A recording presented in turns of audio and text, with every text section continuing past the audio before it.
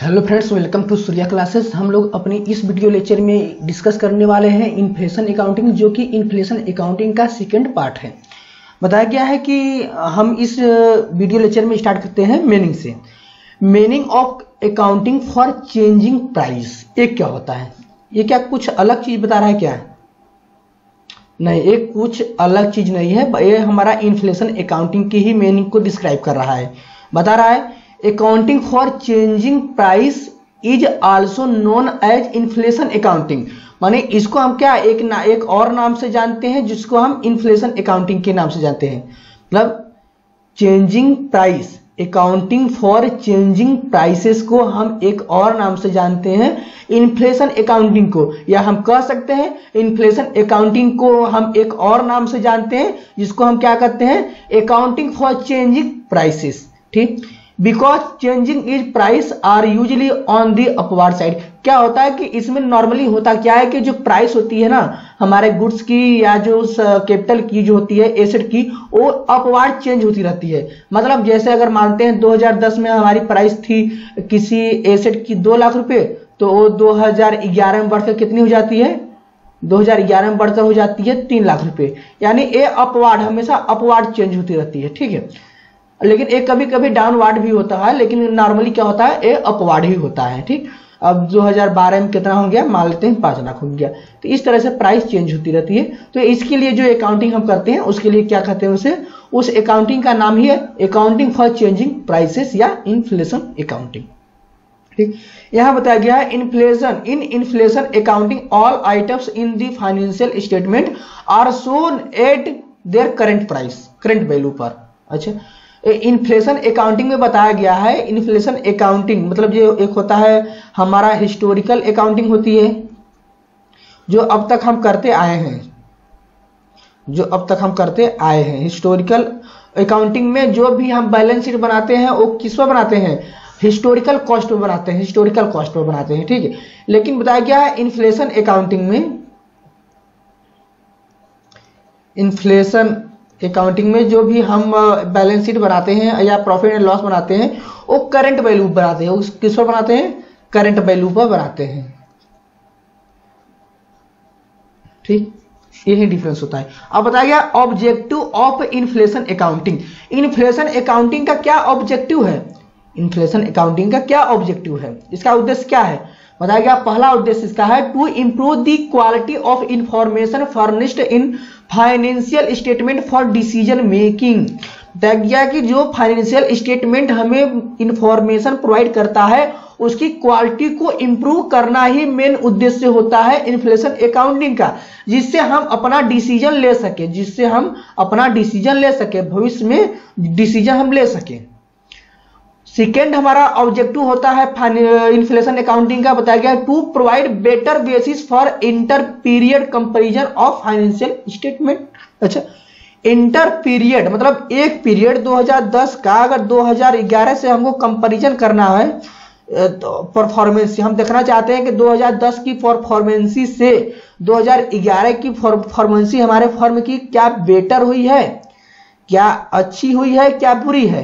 अगर हम ऐसा कंपेरिजन करना चाहें इन दोनों में कि कौन सी ईयर हमारी परफॉर्मेंसी हमारे फर्म की बेटर थी और कौन से, किस ईयर में हमारे फर्म की परफॉर्मेंसी क्या थी, अच्छी नहीं है तो वो कहाँ से? उस, वो हेल्प करता है हमारा इन्फ्लेशन अकाउंटिंग इसमें हमारा हेल्प करता है। बताया गया तीसरा हमारा to facilitate comparison of performance अब two different period of and inter firm comparison अच्छा यहाँ एक एक और जोड़ दिया है इंटर फर्म कंपेरिजन यानी अगर एक फॉर्म का, अगर एक फॉर्म का, अगर दूसरी फॉर्म से कंपेरिजन करना करना हो, जो कि एक ही तरह की बिज़नेस करती है, जो कि एक ही तरह की बिज़नेस करती हैं, अगर इनके परफॉर्मेंसी में, अगर इनके प्रॉफिट में या परफॉर्मेंसी में या ग्रास प्रॉफिट रेशियो में, नेट प्रॉफिट रेशियो में, अगर इन सबों के बीच में अगर कंपेरिजन करना हो तो इन्फ्लेशन अकाउंटिंग उस समय बहुत ही ज़्यादा हेल्पफुल होता है, ठीक? अब बताया गया है methods for inflation accounting inflation accounting के लिए कौन कौन से मेथड्स होते हैं? उसके बारे में हम देख लेते हैं, बताया गया है। The following the four methods of price level accounting अच्छा प्राइस लेवल अकाउंटिंग को भी हम क्या करते हैं? इन्फ्लेशन अकाउंटिंग करते हैं। यानी इन्फ्लेशन अकाउंटिंग का हमारा तीन नाम है। Inflation accounting change in price level of change in क्या है?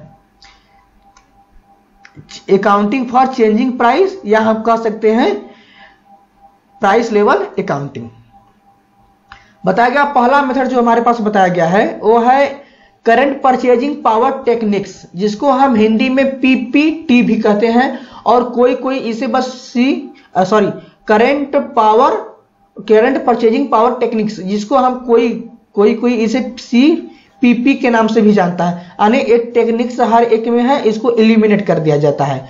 और कोई पूरा लिखता है, बताया गया रिप्लेसमेंट कॉस्ट अकाउंटिंग टेक्निक्स यानी R C A T current value accounting techniques, इसमें भी देखिए हम टी आवाज़ में जोड़ सकते हैं या नहीं भी जोड़ सकते हैं। और करेंट कॉस्ट अकाउंटिंग तो हमारे पास फोर मेथड्स बताए गए हैं इन्फ्लेशन अकाउंटिंग के इन्फ्लेशन अकाउंटिंग को करने के लिए। तो आइए हम फ़र्स्ट मेथड से स्टार्ट करते हैं। फ़र्स्ट मेथड में बताया गया है क्या? फ़र्स्ट मेथड हमें बता रहा है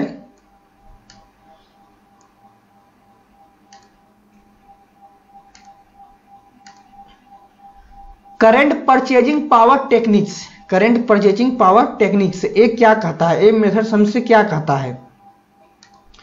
एक कहता है, current purchasing power techniques, technique of accounting required the companies to keep their record record हम किसमें रखते हैं?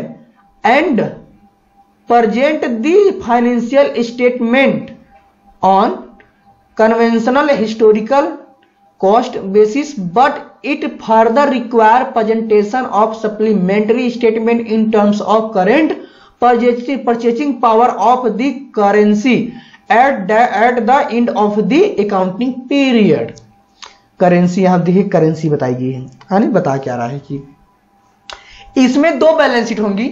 इस मेथड के अनुसार एक ही कंपनी के दो बैलेंस शीट होंगे, जो कि पहला बैलेंस शीट बनाया जाएगा, वो हिस्टोरिकल कॉस्ट के बेसिस पर बनाया जाएगा एंड सेकेंड बैलेंस शीट जो बनाया जाएगा वो current purchasing power of power techniques यानी वो करेंसी यानी वो इंडेक्स कॉस्ट ऑफ़ मतलब एक इंडेक्स कॉस्ट हम अभी निकालेंगे उसके आधार पर। और इसमें प्रॉफिट एंड लॉस भी बनाया जाएगा, जो कि एक बिफोर कन्वर्जन के पहले का रहेगा, एक आफ्टर कन्वर्जन के बाद का रहेगा। तो बताया गया है क्या? In this methods the various item of financial statement means profit and loss account and balance sheet profit and loss account के जितने भी आइटम्स होंगे एंड बैलेंस शीट के जितने भी आइटम्स होंगे, उनमें क्या किया जाएगा? Are are adjusted with the help of recognise general price index general price index जिसको हम जी पी आई के नाम से भी जानते हैं। The wholesale price index of the RBI और ये जनरल प्राइस इंडेक्स हम किसका लेंगे? वो लेंगे wholesale price index of the RBI यानी एक आरबीआई जो होती है, वो क्या करती है? एक जनरल प्राइस मतलब wholesale price wholesale price index issue करती है। ठीक है? यानी होलसेल प्राइस इंडेक्स इशू करती है। इसे हम लेंगे। आरबीआई के द्वारा इशू किया गया। मतलब क्या होता है कि आरबीआई जो होती है, एक जनरल प्राइस इंडेक्स बनाती है सभी कमोडिटी के लिए। मतलब एक ग्रुप ऑफ़ कमोडिटी एक ग्रुप ऑफ़ कमोडिटी इसमें कई कमोडिटी होती हैं। कई कमोडिटी होती हैं normally hundred two hundred three hundred four hundred five hundred तक कमोडिटी हो सकती हैं। इनके लिए, ये सभी कमोडिटी के लिए वो सिर्फ़ एक ही क्या बनाती है? जनरल प्राइस इंडेक्स बनाती है। जनरल प्राइस इंडेक्स बनाती है। ठीक है, एक ही price index general price index होता है। उसी के आधार पर, इस जनरल प्राइस इंडेक्स के आधार पर हम कन्वर्जन करते हैं। हिस्टोरिकल कॉस्ट को हम कन्वर्जन करते हैं किसमें? इन्फ्लेशन मतलब एक न्यू करंट वैल्यू पर। ठीक है? जैसे बताया गया है कि, देखिए, अगर इसमें कोई एसेट है, क्या हम लोगों ने इनकम टैक्स एक इनकम टैक्स जब हम पढ़ रहे थे तो उसमें हम लोगों ने डिस्कस किया है income under the head capital gain. Capital gain के बारे में हमने डिस्कस किया है। कैपिटल इनकम टैक्स में। किए होंगे। कैपिटल गेन दो तरह के होते हैं। एक शॉर्ट टर्म कैपिटल गेन, जो कि शॉर्ट टर्म कैपिटल एसेट पर प्राप्त किया जाता है, अराइज होता है। शॉर्ट टर्म कैपिटल एसेट को ट्रांसफ़र करने के पर जो हमको गेन रिसीव्ड होता है, उसे हम शॉर्ट टर्म कैपिटल गेन के नाम से जानते हैं। एंड जो लॉन्ग टर्म कैपिटल एसेट को ट्रांसफ़र करने के बाद जो इनकम हमें अराइज होती है, उसको हम लॉन्ग टर्म कैपिटल गेन के नाम से जानते हैं। तो बताया गया कि शॉर्ट टर्म कैपिटल गेन के लिए तो कोई प्रॉब्लम नहीं होती थी हमें। Short term sorry short term capital gain को कैलकुलेट करने में के समय हमें कोई भी प्रॉब्लम नहीं होती थी। लेकिन लॉन्ग टर्म कैपिटल गेन को कैलकुलेट करते समय हमें एक प्रॉब्लम होती। वो बताया गया है लॉन्ग टर्म कैपिटल गेन हम कैसे कैलकुलेट करते थे, पता है? पहले फुल वैल्यू ऑफ़ कंसिडरेशन लिखते थे। फुल वैल्यू ऑफ़ कंसिडरेशन जितने में सेल किया गया होता था वो एसेट ठीक? फिर उससे क्या हम लेस करते थे? लेस क्या करते थे? इंडेक्स कॉस्ट ऑफ़ इक्विजिशन ठीक?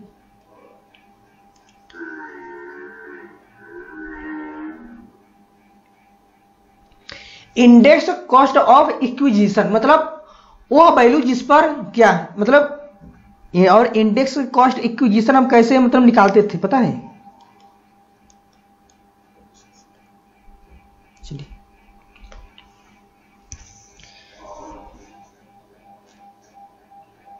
इंडेक्स कॉस्ट ऑफ़ इक्विजिशन वो हम निकालते थे वैल्यू। हम उस एसेट की वैल्यू लेते थे। उसमें हम मल्टीप्लाई करते थे क्या? सी आई आई जिससे हम क्या करते थे? एक करंट वाला हमारा होता था। क्या होता था ये? करंट वाला। और एक हमारा सी आई आई एक और होता था। जो कि ए ओल्ड वाला हमारा बे, हमारा बेसिक होता था ठीक? तो इस तरह से हम अपना कैलकुलेट करते थे और जो यहाँ वैल्यू आती थी उसमें से हम लेस कर देते थे और हमको capital gain long term capital gain हमें प्राप्त हो जाता था।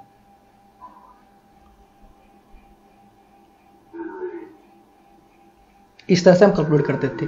तो बताया गया यहाँ पर भी उसको कैलकुलेट करने के लिए देखिए यहाँ दिया गया है कन्वर्जन हम कैसे करेंगे? कन्वर्जन करने के लिए एसेट वैल्यू एसेट वैल्यू जो हिस्टोरिकल कास्ट पर आएगा। जैसे हम मान लेते हैं यहाँ फर्नीचर है। यहाँ पर फर्नीचर हमारी कितनी की है? फर्नीचर मान लेते हैं दो लाख रुपए की है। ठीक। और इसको हम कब खरीदे थे? 2010 में। ऐसा भी हम मान लेते थे। तो एसेट वैल्यू, हिस्टोरिकल कास्ट, दो लाख रुपया यहाँ लिख लेते हैं।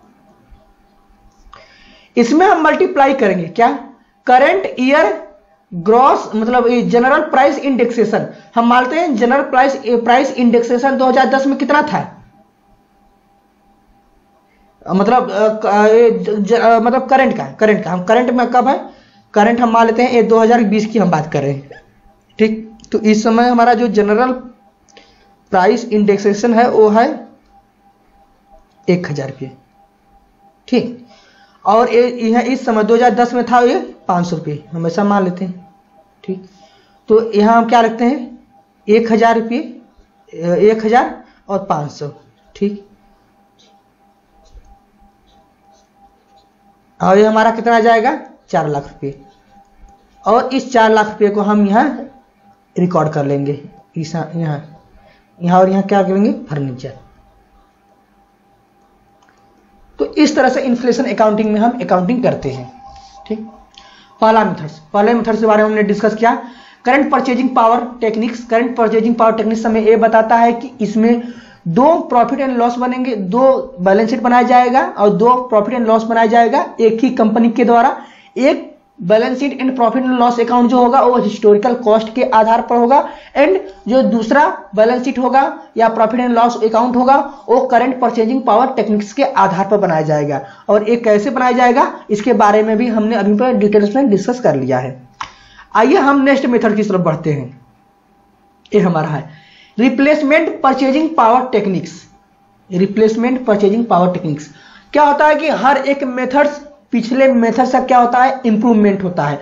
तो पिछले पिछले मेथड्स में जो हमने पढ़ा है करंट परचेजिंग पावर टेक्निक्स जो हमने अभी इसको देखा है करंट परचेजिंग पावर टेक्निक्स ठीक है? इसमें एक प्रॉब्लम थी, इसमें एक प्रॉब्लम उसमें यह थी कि जो हम जनरल प्राइस इंडेक्सेशन निकालते थे, जो जनरल प्राइस इंडेक्सेशन था वो तमाम गुड्स का था। माने वो वेरियस गुड्स का मिलाकर हम ढेर सारे कम्युनिटी माने ग्रुप ऑफ़ कम्युनिटी का मिलाकर एक ही, इनका सिर्फ़ एक ही जनरल प्राइस इंडेक्सेशन निकाला जाता था। लेकिन क्या ऐसा पॉसिबल होता है रियल में कि सभी गुड्स जो हमारे पास जैसे डीजल है, पेट्रोल है, या क्या जितना दाम, जितना इंक्रीज पेट्रोल के दाम में जितनी प्राइस इंक्रीज होगा, उतना ही प्राइस डीजल के दाम में भी इंक्रीज होगा। क्या ऐसा संभव है?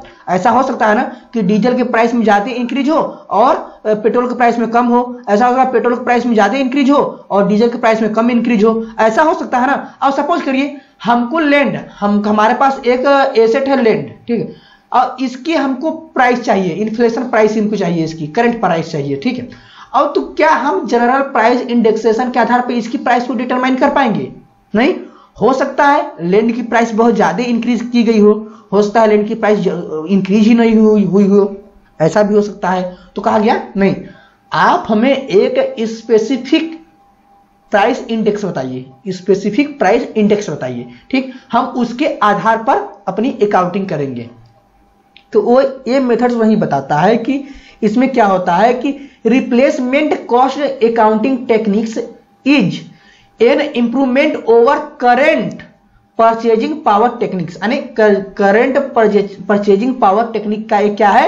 एक इंप्रूवमेंट है रिप्लेसमेंट कॉस्ट टेक्निक ठीक है अकाउंटिंग टेक्निक्स बताया गया one of the major weakness of current purchasing power technique is that is does not take into account the individual price related to the particular asset of a company यानी particular asset का जो एक index price होता है, वह consider नहीं करता था। कौन? Current purchasing power techniques current purchasing power techniques इसके लिए हमने एक नई टेक्निक को डेवलप किया, जिसे हम जानते हैं रिप्लेसमेंट कॉस्ट अकाउंटिंग टेक्निक जो कि प्रत्येक एसेट के लिए एक क्या करता है? इंडिविजुअल प्राइस इंडेक्स बताता है। ठीक? तो यहाँ पर बताया गया है in the replacement cost accounting technique the index used are those directly relevant to the company particular asset यानी इसमें जो इंडेक्स होता है जो इंडेक्स प्राइस होता है वो क्या होता है? वो क्या होता है? वो जनरली एक पार्टिकुलर एसेट से रिलेटेड होता है जिसे हम क्या कहते हैं? जो इसमें प्राइस इंडेक्स हमारा होता है वो प्राइस इंडेक्स हम कर, यूज़ करते हैं जो कि एक पार्टिकुलर स्पेसिफिक एसेट से रिलेट करता है ठीक है? तो और, और सभी चीज़ें सेम है। यानी यहाँ पर प्रत्येक अगर हमारे पास सपोज़ करिए अगर फर्नीचर है तो फर्नीचर के लिए क्या होगा? एक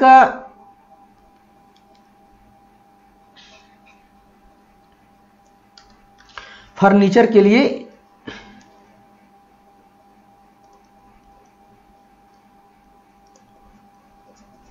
एक अलग प्राइस इंडेक्स होगा। और मशीन अगर हमारे पास होगी तो इसके लिए क्या होगा? एक अलग प्राइस इंडेक्स होगा। और हमारे पास लैंड होगी तो इसके लिए भी हमारे पास एक अलग प्राइस इंडेक्स होगा। मतलब प्रत्येक एसेट के लिए एक पर अलग अलग प्राइस इंडेक्स होगा और जिसके आधार पर हम कन्वर्जन करते हैं। कन्वर्जन करने का हमारा फॉर्मूला सेम है। जैसे हम प्रीवियस मेथड्स में जिस तरह से हम कन्वर्जन करते थे, उसी तरह से यहाँ भी कन्वर्जन किया जाएगा। इस मेथड में भी हिस्टो बैलेंस शीट इस प्रत्येक कंपनी के पास दो बैलेंस शीट होता है, जो कि एक हिस्टोरिकल कॉस्ट के आधार पर बनाया जाता है और सेकेंड जो बनाया जाता है, वो करंट परचेजिंग पावर टेक्निक्स के आधार पर बनाया जाता है। जिसको हम यहाँ पर रिप्लेसमेंट कर देते हैं, ठीक है? रिप्लेसमेंट कर। रिप्लेसमेंट परचेजिंग पावर टेक्निक्स और यहाँ पर भी हमारा हो जाएगा, ठीक? और प्रॉफिट एंड लॉस अकाउंट भी होता है दो ठो, जो कि एक बिफोर कन्वर्जन का होता है, एक आफ्टर कन्वर्जन करने के बाद बनाया जाता है। अब आते हैं थर्ड मेथड पर। करंट वैल्यू अकाउंटिंग टेक्निक ये भी क्या है? ये भी पिछले मेथड्स का इंप्रूवमेंट है। माने पिछले मेथड में भी, पिछले टेक्निक्स में भी कुछ वीकनेस थी, कुछ वीकनेस थी। उसको इंप्रूव करने के लिए, उसको एलिमिनेट करने के लिए इस मेथड को लाया गया। बताया गया है। In the current value accounting technique of price level accounting all asset and liability are यहाँ पर देखिए बस क्या किया गया है। ऑल एसेट एंड लाइबिलिटीज और पिछले जो हम प्रीवियस में दो मेथड्स के बारे में टेक्निक्स के बारे में डिस्कस किए थे, उसमें क्या था? उसमें balance sheet as well as क्या था? पीएनएल अकाउंट भी था, ठीक है? लेकिन सिर्फ़ इस करेंट वैल्यू अकाउंटिंग टेक्निक में सिर्फ़ वह हम बैलेंस शीट के आइटम का कन्वर्जन करेंगे। सिर्फ़ balance sheet asset and liabilities हमारी कहाँ होती है? बैलेंस शीट में होती है। यानी हम बैलेंस शीट के जो बैलेंस शीट में जो आइटम्स होंगे, जो बैलेंस शीट में जो आइटम्स होते हैं लैंड फर्नीचर मशीनरी जो होते हैं इसमें, उनके प्राइस में, उनके वैल्यू में हम चेंजिंग करेंगे। सिर्फ़ उनके वैल्यू में हम चेंजिंग करेंगे और जो हमारा प्रॉफिट एंड लॉस अकाउंट होगा, उसको जस का तस हम रहने देंगे, जैसे हम बनाया जाता है, ठीक है? यानी इस इस मेथड्स में एक कंपनी के पास दो बैलेंस शीट होता है, जो कि एक हिस्टोरिकल कॉस्ट के आधार पर बनाया जाता है, और दूसरा हमारा किस पर बनाया जाता है?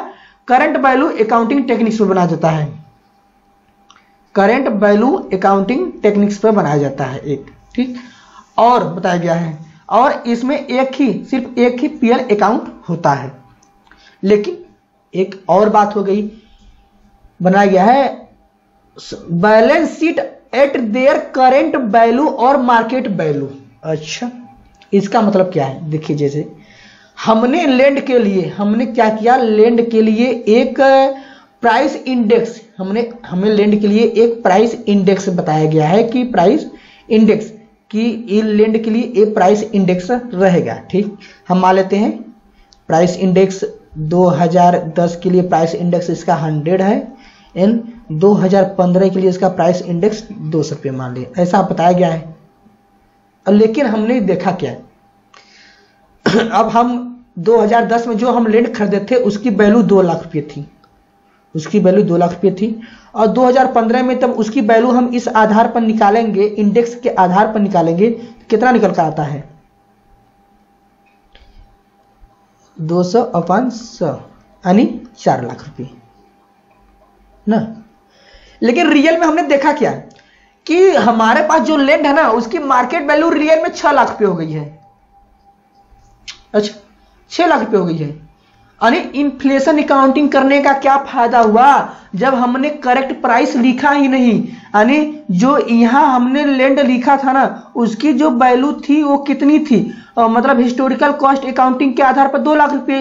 लेकिन हम क्या किए कि अगर प्रीवियस मेथड्स के आधार पर अगर हम अकाउंटिंग इन्फ्लेशन अकाउंटिंग करते हैं तो उसमें चार लाख आता है। यानी दो लाख रुपए का तब पर भी तो इन्फ्लेशन रह जा रहा है। तो इसको एलिमिनेट करने के लिए बताया गया कि हम करंट मार्केट अरे करंट वैल्यू पर इसका वैल्यूएशन करेंगे या मार्केट वैल्यू पर वैल्यूएशन करेंगे अपने लैंड का साफ़ साफ़ जो मार्केट में वैल्यू चल रही होगी मार्केट का ना, हम वही वैल्यू यहाँ पर लिखेंगे।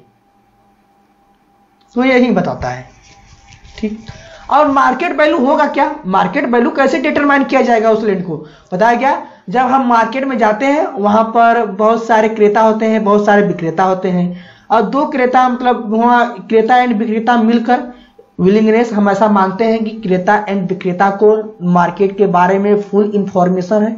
उनको उस लैंड के बारे में जानकारी है। मैंने दोनों को मार्केट की फुल इंफॉर्मेशन अवेलेबल है दोनों के पास। और मतलब इन दोनों मिलकर एक प्राइस डिसाइड करते हैं, जिसको मार्केट वैल्यू कहते हैं। अरे यह युवा पहलू होता है जिस पर क्रेता खरीदने को तैयार हो जाता है एंड विक्रेता बेचने को तैयार हो जाता है। मार्केट वैल्यू वो वैल्यू होती है। ठीक? अब फोर्थ मेथड आइए हम चलते हैं फोर्थ मेथड की तरफ़। एक क्या बताता है? Current cost accounting current cost accounting बताया गया। The British government the British government appoint committee known as Sandilands committee under the chairmanship of mister Francis Sandilands to consider and recommend the accounting for the price level change and price level change inflation के लिए inflation अने inflation होने की वजह से जो accounting की जाने वाली है इससे संबंधित ब्रिटिश गवर्नमेंट ने एक कमेटी अपॉइंटमेंट किया, जिसको हम किस नाम से जानते हैं?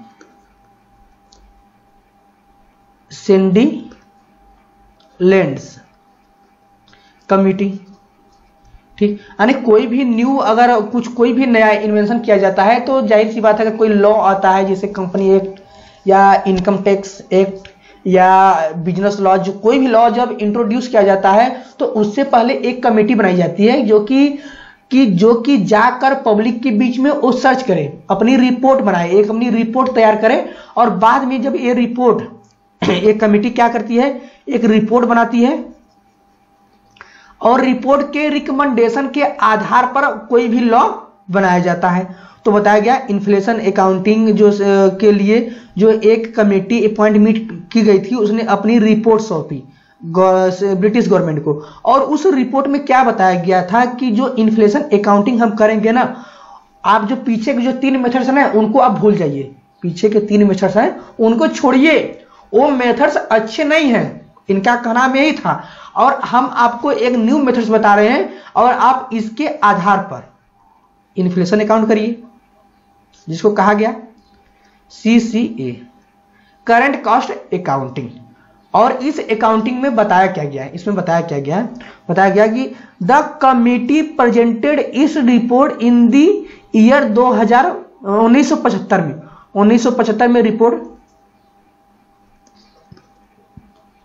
प्रेजेंट किया गया। देखिए, ये बहुत बार एग्ज़ाम में आया हुआ है। आप लोग इसको याद रखिएगा। कि यह कमिटी किससे रिलेटेड है? और ए ईयर और ए मेथड्स इस मेथड्स को कब इंट्रोड्यूस किया गया था? मतलब इस इस समय. And recommended the adoption of current cost accounting techniques in the place of current purchasing power of replacement cost accounting technique for price level changing यानी जो पिछले जो तीनों मेथड्स है, उनके स्थान पर यह मेथड्स को करेंट कॉस्ट अकाउंटिंग टेक्निक्स मतलब मेथड्स को बताया गया मतलब इंट्रोड्यूस किया गया। एडोप्ट करने के लिए कहा गया। और इसमें क्रक्स क्या है? Crux of the current cost accounting technique is the preparation of financial statement on the current value of individual item and not on the historical और ओरिजिनल कॉस्ट देखिए फाइनेंशियल स्टेटमेंट दिया गया है। फाइनेंशियल स्टेटमेंट का मतलब balance sheet as well as इन पिंडल account ठीक? PL account यानी इसमें प्रत्येक कंपनी के पास दो बैलेंस शीट होगा एंड दो पीएल अकाउंट होगा, जो कि एक हिस्टोरिकल कॉस्ट के आधार पर बनाया जाएगा, एक जो होगा वो हिस्टोरिकल कॉस्ट के आधार पर बनाया जाएगा एंड सेकेंड जो है वो किस पर बनाया जाएगा?